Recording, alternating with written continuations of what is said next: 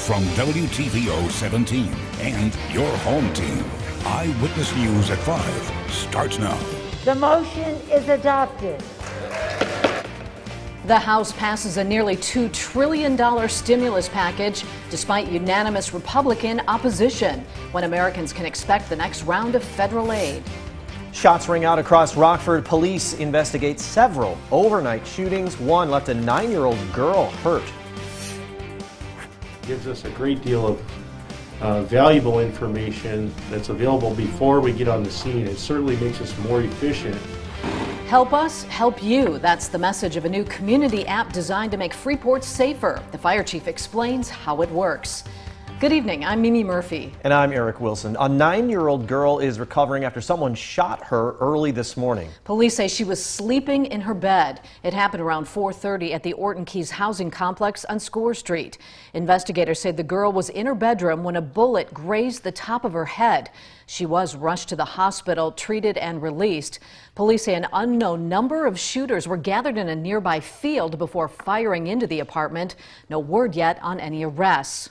Shots were also fired at a house in Rockford, wounding two people. It happened around just before 10 last night at a home on Davis Street that's near Cedar Bluff Cemetery. Investigators say a group of four to six people walked through an alley and entered the backyard before firing into the home. A 24 year old man was shot twice in the legs as he was entering the house. A 19 year old woman was struck in the back. Both are expected to recover. Police say the home had over 30 bullet holes. Anyone with information on this shooting, on either shooting, should call police or Crime Stoppers. Traffic is shut down on a rural Winnebago County road after a deadly car accident. It happened around 1 this afternoon. Sheriff's deputies were called to the intersection of Belvidere and Atwood Roads. That's in Harlem Township. Investigators say one car was involved. The driver lost control, veered off the road and hit a tree. The woman died at the scene. No word on what caused the crash, but officers tell us speed may be a factor. Police say the intersection will be closed for several hours this afternoon while they investigate. We've learned a little more about the human remains discovered off a busy Winnebago County highway. Tuesday morning, state police were called to the 251 exit off bypass 20. Investigators say the body was decomposed, quote, down to the bones. The coroner says the remains appear to be an adult. It's not yet known if that person was a man or a woman. An autopsy will take place before the weekend. Investigators say it will be quite some time before we know an identity. The trial of teenager Kyle Rittenhouse is put on hold until the end of the year. Rittenhouse is from suburban Chicago. He's accused of killing two people and wounding a third during protests in Kenosha, Wisconsin over the police shooting of Jacob Blake last summer. Today, a judge pushed back the 18 year old's trial by seven months and said it could be delayed even more. Prosecutors and defense attorneys say they need more time to prepare their case. Rittenhouse is now scheduled to stand trial November 1st. He's currently free on bond, facing reckless homicide and other charges. High school athletes haven't competed in months amid the pandemic. Relaxed COVID restrictions allow students to return to their games once again. But many athletes aren't just physically rusty from the time off. Some who've battled the virus tell Ari Bruckman it's also been a mental challenge. Ari? Eric, it's been a tough road for some student athletes returning to their sport after recovering from COVID. A local doctor tells me he's seen it too. I had the fever at first, and then when I really like hit me that I had it is when I uh, lost my taste, lost my smell. Recovering from COVID can be different for everyone. Some experience extreme fatigue and loss of taste or smell. Others are asymptomatic. For student athletes who've battled the virus, like Rockford Lutheran senior boys basketball player Zach Darris, Returning to action can prove to be more of a mental than physical challenge. It was just like three days that I felt like physically drained. It was in the mental part for me. It was like being in the house for two weeks, not being, not being able to do anything. That, that part really sucked. Darius isn't the only student athlete who has experienced mental fatigue coming back from the virus. Dr. Anthony Rizzo is a sports medicine physician at Mercy Health Hospital. He's seen the negative impacts on younger athletes. A lot of athletes that use that as kind of an outlet for stress relief. We're seeing a little bit more of a buildup of anxiety and some depression in younger um, athletes, such as teenagers and, and college level athletes. Rizzo also works as a team physician for Rockford University. He says those who had moderate to severe symptoms need to be aware of physical concerns as well. The bigger concern I get is, is their hearts, because we are seeing some connections with infection of the heart due to COVID. Um, so that's the one thing that we screen our athletes for. So when it comes to screening, that means we're doing like a screening EKG. Um, if it's we're seeing stuff pop up on that, then we're sending them to a specialist, a cardiologist. While Darius admits he put pressure on himself to get back on the court, he advises other student athletes battling back to prioritize their health. Definitely took me a little while to get back to full strength. After a while, like two weeks or so, started to get back into it, and from there, you know, I started getting my strength back, and uh, felt pretty good after that. Dr. Rizzo re recommends using a return to play program. The program lasts between five and seven days, allowing players to gradually increase physical activity. Mimi? Thank you, Ari. During an emergency, communication is key. That's why the Freeport Fire Department wants neighbors to have a plan before an incident happens. First responders rolled out Community Connect. It's an app that collects information about hazards around your home, who lives there, if anyone's disabled, and other important items. Business owners can do the same. The fire department says that info will be sent to first responders when they're called to your home or business. Fire Chief Brad Liggett says updating that information can save lives. It's important to enter the information, but then also keep it up to date. Uh, if anything changes, if someone moves out of the home, if your hazards in the home change, uh, if you do some remodeling that might be, impact the information that you put into the system, those are all important things to make sure that you keep up on. Find a link to download Community Connect on our website, mystateline.com. High school graduation will be here before we know it. Seniors are using the next few months to plan their next steps. There are a number of paths young adults can take post high school. Michelle Rave joins us with more on how students are exploring the trades. Michelle. And for many high school students, life after graduation can lead to some major life changes. A new website shows alternative options to a traditional four-year degree. There are these career pathways that exist from anything from a bricklayer to an operating engineer to a painter or finisher. For high school students thinking about life after graduation, paths that don't include college are available.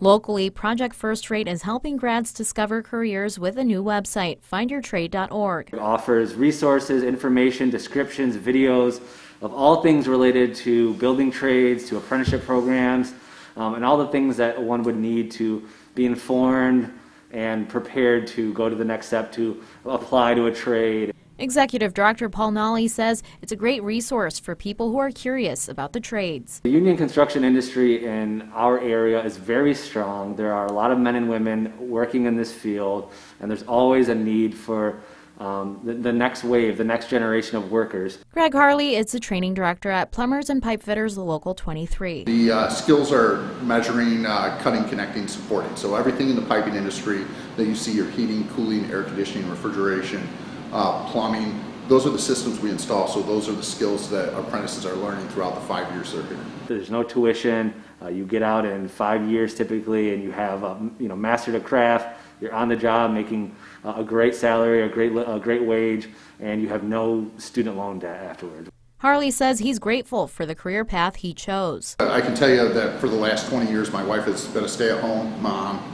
If she would have been here, uh, I'd be at home as a stay-at-home dad right now. So the opportunity uh, has a lot of potential for what you can do as, with your family. There are 17 different trades you can look into. You'll find details about the jobs and more about wages and benefits. We have a link to the site on mystateline.com. Eric, Mimi. Thank you, Michelle. The $1.9 trillion COVID relief package is on its way to the president's desk. After the break, we'll tell you when you can expect to get that additional federal support. And a state line nonprofit that helps the homeless needs your help. Coming up tonight at 6, organizers say you can walk a mile in their shoes by donating a pair. Another warm March afternoon, but after today, that'll be it as our temperatures cool off. We've got some rain to time out though for tonight and even the potential for a little snow coming up in your first warm forecast a little later. You're watching Eyewitness News, your home team with Eric Wilson, Mimi Murphy, Sports Director Scott Leber, and Chief Meteorologist Candice King. U.S. House lawmakers passed President Biden's $1.9 trillion relief bill. Biden says he plans to sign the relief package immediately. Democrats are celebrating, but Republicans are calling it a sad day for the country. DC's Anna Wiernicki is keeping you connected to the nation's capital. The nearly $2 trillion COVID relief package is heading to the White House. President Biden says he will sign the bill into law on Friday. But Republicans aren't happy about how this all happened. The bill passed both chambers without any Republicans backing it.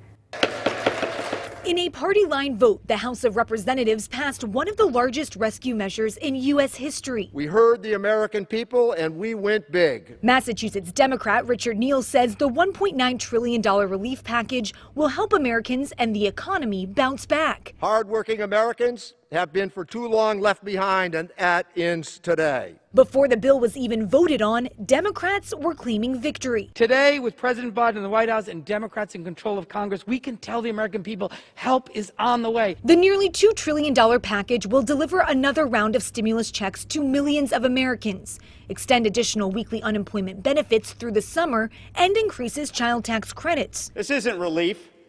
This is because you guys won the majority. But Republicans say they were left in the dark and criticize Democrats for pushing through a bill that's more expensive than necessary. You're playing politics.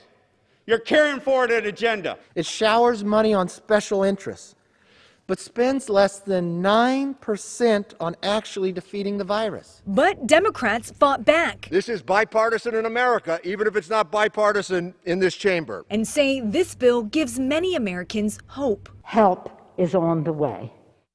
This is the third coronavirus relief bill Congress has passed. And when asked if there could be a fourth relief bill in the works, House Speaker Nancy Pelosi said, You're just going to have to ask the virus. In Washington, I'm Anna Wiernicki. Back to you. Now, your first warn weather forecast with Chief Meteorologist Candice King. Well, the big story for us this afternoon has been the wind. Winds coming in from the south, sustained at about 15 to 25 miles per hour, but we have had some gusts close to 35, a little stronger down to the south, where we've had a bit more clearing take place. Sustained winds still from the south this evening at about 15 up to 25 miles per hour. But with that southerly wind, despite the cloud cover, we were still able to make it back into the 60s. 65 our current temperature in Rockford, 60 64 in Janesville and 62 degrees right now in Freeport. A live look with the Mercy Skytrack camera looking off to our west and southwest this evening. Some breaks in the cloud cover as we're starting to get a little bit of dry air working in ahead of a cold front that'll eventually come through during the overnight tonight. Now the rest of this evening going to stay dry, but some showers and thunderstorms starting to line up along that front to the west in Iowa. In fact, you can see the line, kind of broken line of showers and and embedded thunderstorms with that. Uh, to our west, there's actually a tornado watch that has been issued for portions of Iowa extending into Minnesota, closer to where we've got a little better instability and where we have that low pressure system located. Now, that low pressure system is lifting up to the north in Minnesota, and it is going to continue to pull to the north and to the northeast. So we will continue to funnel in that warm air, but it's going to take a few hours before we start to see any rain begin to move in. And any threat for severe weather is going to stay focused more to the west, closer to where that low pressure system is and closer to where that cold front sits right now. So lining up from Iowa and extending into Minnesota. By the time that front works in our direction, we're actually going to see that uh, chance for any thunderstorm activity kind of decrease a bit. But we still do have a risk for some gustier thunderstorms here as we get a little bit further into the evening. So let's time this out. We've got some dry time but windy. Just keep that in mind these next few hours. That wind advisory goes until about midnight tonight. Once we get to about 8, 9 o'clock tonight, cold front will start to move in from the west. That's when we'll see the line of showers and embedded thunderstorms begin to move in as well. Uh, as I mentioned, we do have a little bit of instability, but because this is coming in during the overnight hours or at least late evening hours, any threat for severe weather is going to stay fairly low. But as that cold front comes in, we could have some gustier thunderstorms, so maybe winds upwards of 45 to even 50 miles per hour with some of the heavier rain showers that come through. Now, this is going to be a fast moving cold front, so notice by already 11 o'clock, a lot of this kind of pushing off to the east. And once we get to about midnight, 1 o'clock tomorrow morning, things will start to dry out as that cold front begins to shift a little bit further to our south. Cooler air does filter in behind that front heading into Thursday. We'll dry things out then as we head into Thursday afternoon. Temperatures, though, will still manage that 50 degree mark. As far as rainfall totals are concerned, generally about a quarter of an inch, but a few locations could get up close to a half an inch where maybe a little more heavier rain and an isolated thunderstorm comes through. We're actually going to stay pretty mild tonight through about midnight. Temperatures are going to be in the 60s, but we're down to 44 tomorrow, up to 56 for tomorrow afternoon. Still going to be windy tomorrow. Temperatures stay in the 50s for Friday, Saturday, down into the 40s by the end of the week. Might get a rain snow mix, guys, coming in Sunday into Monday with our next low pressure system, but those temperatures cooling off to where we should be this time of year. Now, the Napleton Sports Desk with Sports Director Scott Leber. Uh, the first Big Northern Conference postseason tournaments in boys and girls basketball wrapped up last night. Winnebago won the girls' championship. Rockford Lutheran won the boys' championship. So now that the smoke has cleared, it's time to assess how it all went. And in my view, went extremely well, and it was a great setup. Four big nights of games. Lose and you're out of the running for the championship. And teams that did lose still got to play on and get in some more games in this shortened season. There was a lot of excitement, and that would have been more obvious if the gymnasiums were packed with fans. The only hitch in the whole tournament was the lack of available referees, which led to game locations being switched sometimes the day of the games. Referee shortages is a whole other issue. But overall, I think the Big Northern Conference got this right. The tournament went so well that you'd almost hope the conference would adopt it in future years. But that's not likely to happen. It would take away from the regular season championship, and teams would probably have to give up some of their holiday tournament games and other non conference games, and they'd be reluctant to do that. Facing teams from outside the area who they've never faced before makes our team stronger, and coaches love those games in order to get a better barometer on how their teams stack up heading into state tournament play. But in this season of the pandemic, I tip my cap to the Big Northern Conference for a job well done. Now, the NIC-10 opted not to go with a full tournament and instead went with a two division setup with the division champion squaring off for the title this Friday night. Now, the girls' matchup will have Hononegah playing at Harlem, and for the boys, Harlem will play at East. The NIC-10 setup placed more emphasis on the regular season. Now, looking back now, the boys' race in Division B, which included East, Jefferson, Hononegah, and Guilford, was definitely the stronger division. And Jefferson, with only two losses, could make the argument that it deserves to play East for the championship rather than a three-loss Harlem team. But that's the way it goes. And Harlem took care of business last night by defeating Jefferson. Again, I give the NIC-10 ADs and coaches credit for creativity and for making the best of a bizarre, very short season. The action has been compelling, and both division races for the boys went right down to the wire last night. So did the girls' race in Division A. That had to settle a tiebreaker. That's how close that one was. So that's my take on local basketball. We'll be right back.